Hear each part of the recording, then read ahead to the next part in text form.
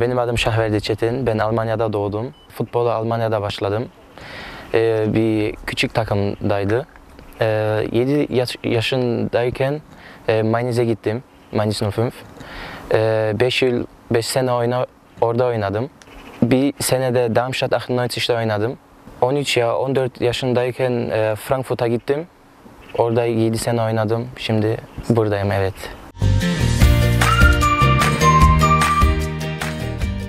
Takım çok iyi. İtmanlarımız da iyi. Ee, burada olmam çok memnunum. Ee, çok sevindim. Ee, takım arkadaşlarım da iyi. Yani beni takıma aldılar. Ee, ben Almanya'da zaten e, Türk e, takımları takip ettim. Ankara gücünü de takip ettim. Ee, o yüzden çok seviniyorum burada oynamam için. Ben herkesle konuşabiliyorum. Ee, beni seviyorlar, ben onları seviyorum. O yüzden her şey iyi yolunda.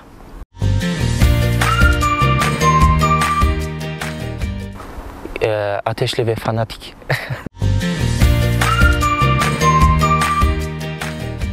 Ee, milli takımda oynamak istiyorum. Burada da oynamak istiyorum, Ankara gücüde oynamak istiyorum. Ee, onun için, takım için her şey yaparım. Ee, Yüzde yüz her şey veririm takımı, takım için. Ee, önce takımda oynamak istiyorum.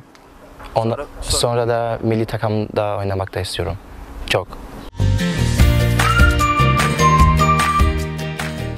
Ee, Ankara benim için çok güzel. Annem Çankara ortadan geliyor. O yüzden burayı tanıyorum. Ee, evimiz var Etlik'te. Orada bir yerleri biraz biliyorum. Ama çoktan da buraya gelmedim. Yani biraz biliyorum.